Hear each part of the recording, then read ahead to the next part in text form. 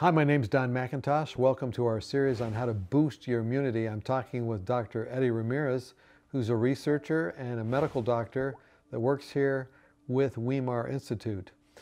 Dr. Ramirez, we're going to talk about trust in God or psychoimmunity or psychoneuroimmunity. There's a new science uh, uh, that has come out that is called the psychoneuroimmunology. Immunology. So this is the immune system and how you're thinking it actually impacts it. Absolutely. You know very well that, you know, if things are not going well in your life, you are sad and so forth, you're more likely to be sick.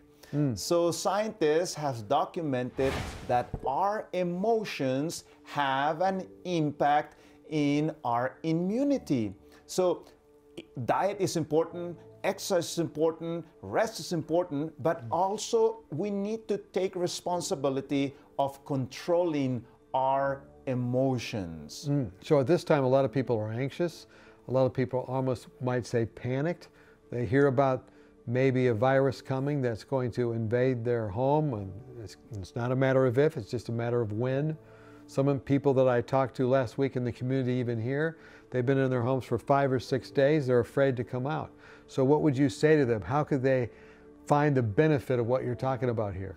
Actually, here in Weimar, together with uh, students, we presented a very interesting study in which we were comparing different ways of dealing with those emotions. And we compare five things people that don't do absolutely anything to control themselves, two, people doing yoga, three, people doing Eastern meditation, four, people doing prayer, and five, people doing Bible study. What mm. do you hmm. think? What are the results?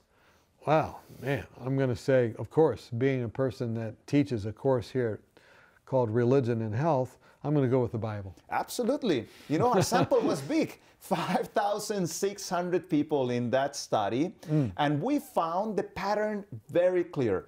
The best way of relaxing, of controlling your emotions is actually Bible study. Hmm. Any particular part of the Bible? I know some parts of the Bible are, are quite scary. well, what happened with the Bible is that it shows us the, humi- the, the, the humanity of the writer. Mm. So we can identify with him. He sometimes felt uh, anxious, he sometimes felt sad, and so forth, but it gives us a solution. It helps us change our focus. When we're just thinking about ourselves, we get more depressed and more sad. But when we change our focus to the creative works of God, to the wonderful things God does, that mm-hmm. Actually has a relaxing effect. Interesting. What do you think was the second one? Mm, most effective one? Most effective. Boy, uh, you know, uh, probably meditation prayer actually was the second most effective oh, one. isn't prayer like a form of meditation? Yes, uh, we actually divided the, the, two of them. So we have Eastern meditation and we have prayer. Okay, so, so that's like Western meditation. What we that's right.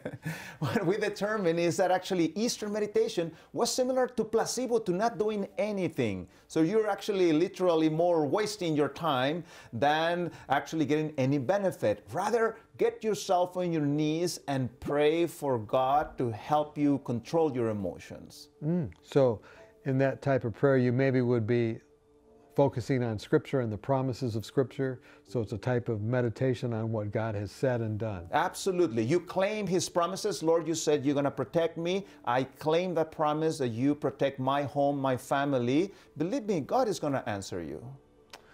This is something very practical. Thank you very much, Dr. Ramirez, for that. And uh, focusing on prayer and also focusing on God's promises will decrease that anxiety and will also increase your immunity. That's the message we're getting today. So we're praying for you. And as you're praying, sometimes I think even better to pray out loud. Just talk to God as a friend. This can really decrease your stress and increase your immune system. Thanks for joining us.